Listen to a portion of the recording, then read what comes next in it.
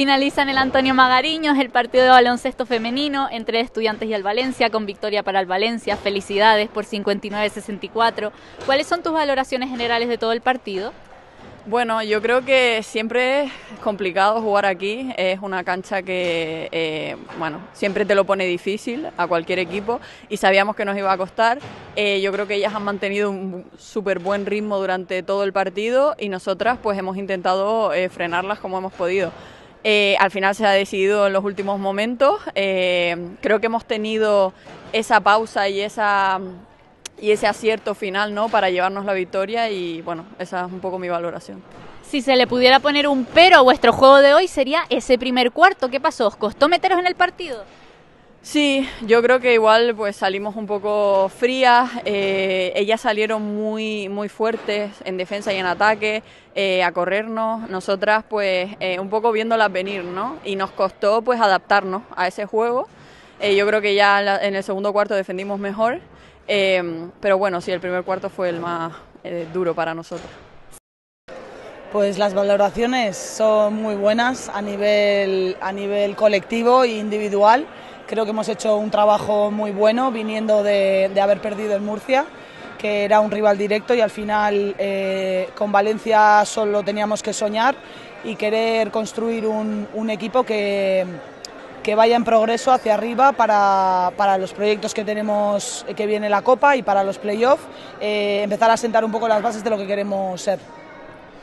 Eh, jugabais contra el líder, vuestro planteamiento a pesar de ello ha sido de ir a, por el partido desde el inicio. Sí, sí, ha sido, aparte que incluso en la charla David, en el último momento antes de saltar a pista, eh, todo, todo era en, sentido de, divertirse, de pasárselo bien, de sacar el mejor baloncesto que podemos y, al final es, es, donde más nos nutrimos y donde mejor encontramos las ventajas cuando el baloncesto fluye y, estamos todas conectadas. Entonces la verdad que ha sido muy emocionante y, aunque haya sido el resultado así, eh, nos vamos por todo lo alto, queremos seguir trabajando de esta, con esta filosofía y estamos muy contentas.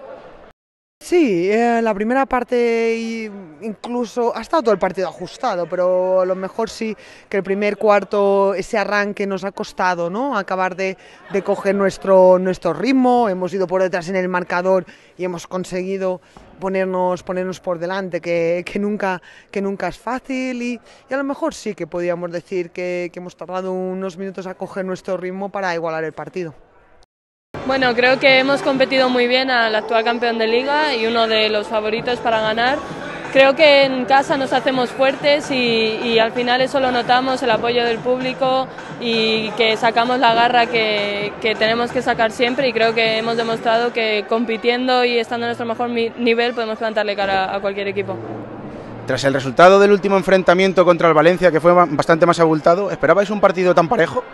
Sabíamos que iba a ser un partido complicado de ganar, pero bueno, yo creo que siempre esperas que, son jugadoras muy buenas y que se te pueden ir en cualquier momento y lo que haces en el partido es intentar acortar las diferencias y mantenerlas lo máximo posible.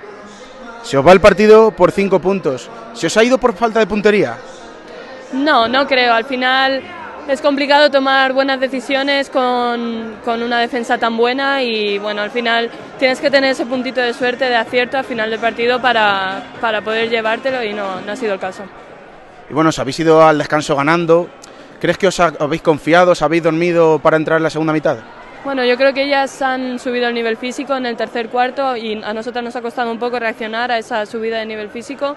En cuanto lo hemos igualado, hemos vuelto a plantarles cara, pero aún así no, no hemos podido llegar. Muchísimas gracias. A vosotros.